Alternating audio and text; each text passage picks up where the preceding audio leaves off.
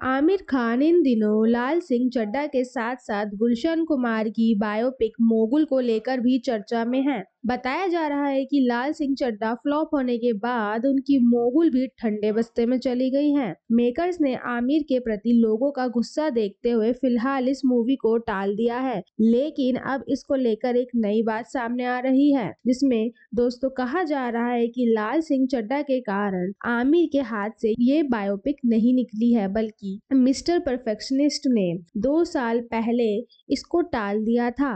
लेकिन अब खबरें सामने आ रही है कि साल 2024 में आमिर खान मोगुल फ़िल्म में काम करना शुरू कर देंगे। और इसके गाने भी सिंगर अरिजीत सिंह गाएँगे। बाकी देखते हैं दोस्तों, ये फ़िल्म कब बड़े पर्दे पर रिलीज़ होती है और कमाल दिखाती है। बाकी ऐसी ही मूवीज़ के अपडेट के लिए हमारे चैनल फनकर सिनेमा को सब्सक्राइब करना ना भूलें। और दोस्तों, आप हमें कमेंट्स करके ज़रूर बताइएगा कि आप इस फ़िल्म के लिए कितने एक्साइटेड हो।